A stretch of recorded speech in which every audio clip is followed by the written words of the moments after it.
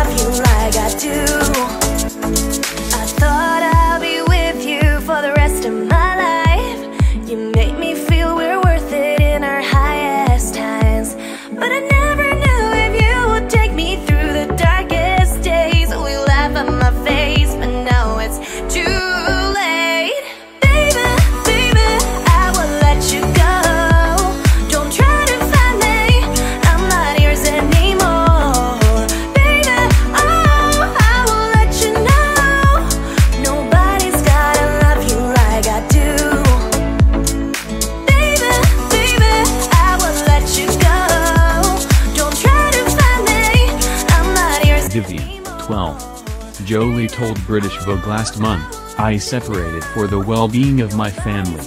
It was the right decision. I continue to focus on their healing. Some have taken advantage of my silence, and the children see lies about themselves in the media, but I remind them that they know their own truth and their own minds.